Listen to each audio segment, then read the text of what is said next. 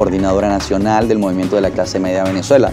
Y me decía antes de la pausa que hay algunas ordenanzas, actividades económicas que tienen que ver con las patentes de industria y comercio que generan los municipios a los comerciantes, sobre todo cuando hay una nueva empresa o que tienen que actualizarlo cada año, por supuesto, por parte de los deberes municipales, no están, digamos, ajustadas dentro de su criterio a lo que debería ser.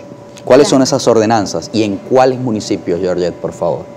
Bueno, los municipios de la casa, Barú, Tatillo, Chacao, eso debe tener una revisión porque hay una sentencia del Tribunal Supremo de Justicia de armonización tributaria. Y en esta armonización tributaria hay algunas, eh, algunos parámetros que se tienen que cumplir para nosotros, oye, y cada municipio es autónomo y distinto, y los consejos legislativos, pero por ejemplo, para los casos de los municipios metropolitanos, Barú, Tatillo y Chacao, le hago un llamado de reflexión a los concejales. Los concejales deben realmente hacer puntos de equilibrio con las ordenanzas que se le presentan para ver cuál es el impacto en la economía, porque si esto no se hace en la Cámara Municipal, para eso está la Comisión de Finanzas en las cámaras municipales, pues este, tiene un impacto muy fuerte en los consumidores. Entonces debemos tener un poco más de equipos técnicos que nos expliquen las cosas o, como dice un dicho popular, si no es brujo no se ponga a diagnosticar esas hierbas, ¿no? Pero eh, tiene que haber una consulta ciudadana con los sectores que van a ser afectados cada vez que se hace una ordenanza y nadie se puede poner molesto por las críticas, las autocríticas que se hagan a, esto, a estos espacios. Las ordenanzas tienen que ser discutidas en el seno de la sociedad venezolana porque ellas afectan a la célula fundamental de la sociedad, bien sea la productiva o la que se dedica pues a este, su cotidianidad. Usted también ha hablado de una revisión al impuesto a las grandes transacciones financieras. Ayer pagué algo en un comercio acá en Caracas y solo el impuesto a las grandes transacciones financieras dio 8 dólares, y 8 dólares que no es poca cosa. No lo dice así libremente, da ah, 8 dólares, es importante, ¿no? Y, y, usted lo reflexiona desde el punto de vista de la canasta alimentaria. Claro. El impacto que esto puede tener, suponiendo que yo soy un emprendedor. Bueno, tengo que desembolsillar allí un dinero adicional para poder pagar un impuesto cuando no hago grandes transacciones financieras. Su reflexión. Y lo otro es también evaluar la evasión fiscal. ¿Por qué?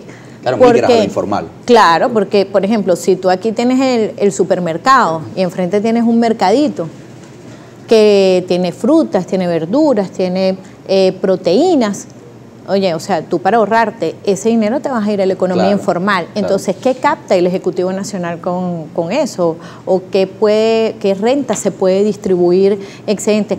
Eso es solo para la canasta básica y hay que definir muy bien qué es una gran transacción un dólar, ocho dólares, no puede ser una gran transacción. ¿Hace mercado usted, Yo hago mercado todos los domingos en el supermercado Plaza, disculpe la propaganda. Bueno, ya, ya, lo dijiste.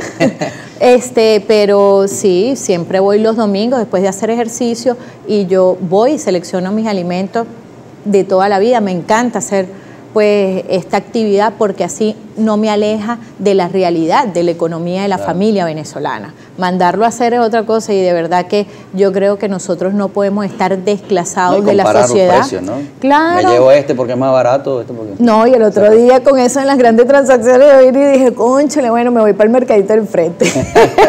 porque yo también tengo que ahorrar, ¿no? Parte de la realidad que tiene que atravesar día a día el ciudadano porque una cosa es lo que decimos en televisión, otra cosa es cuando vas al supermercado y tienes que agarrar la calculadora y sacar cuenta de ver cómo ahorras un poquito para invertir en algo prioritario. Y no podemos, y no podemos tener algunas realidades fantasiosas. Yo también le pregunto a algunos ciudadanos que son políticos este, o que tienen cargos de elección popular o cualquier cosa. O sea, yo soy ciudadana y vivo pues de mi trabajo.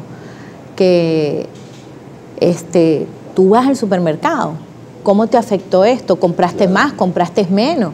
Entonces esas son cosas que hay que evaluar en la canasta básica venezolana, este, solo para esto, porque hay personas de la tercera edad que reciben su remesa internacional, hay cosas, este, y que de repente 100 dólares que los van a gastar en un supermercado para comprar sus cositas. los medicamentos. Los medicamentos, todo esto. Hay cosas que tienen que tener sus exoneraciones. Háblame del movimiento Clase Media Venezuela. ¿Qué están haciendo? Bueno, yo quiero mandarle un saludo a todo el equipo de Clase Media Venezuela, que ha crecido, que se ha fortalecido este, en estos últimos meses, porque estamos en una parte de ir y sumar voluntades, de hablar con la gente, de involucrarnos en ese debate ciudadano, incorporándonos, incorporándonos también a lo que les afecta a nuestros vecinos en las juntas de condominio, en las asociaciones de vecinos o en su forma de diversidad social en la que ellos se quieran agrupar. ¿no? Nosotros en Clase Media Venezuela tenemos gente que piensa igual y que piensa distinto, tenemos varios sectores de la sociedad, nos pueden seguir por arroba clase media Venezuela. Estamos próximos a llegar a los 2.000 usuarios en nuestra red social que es reciente, pero seguimos este, en un andar de conversar, de dialogar, de retomar la fraternidad en la venezolanidad, pero también la solidaridad.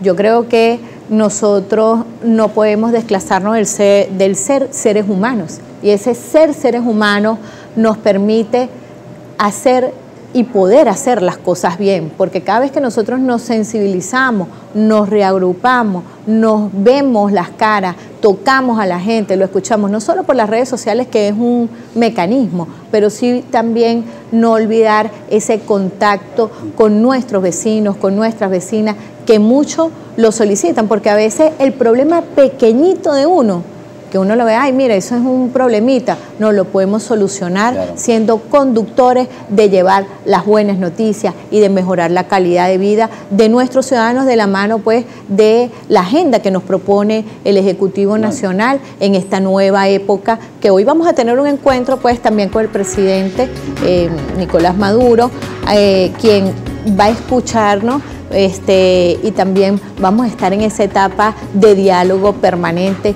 que ha tenido nuestro país, pues nosotros no nos escapamos de ello. Bueno, yo se nos acabó el tiempo, pero agradecemos que haya venido hasta Globovisión. Voy a leer rápidamente dos comentarios de la audiencia. Aquí en Venezuela no se pueden invertir, los impuestos matan al comerciante con ordenanzas absurdas y denuncian por acá que en La Guaira los negocios tienen que pagar multas entre 400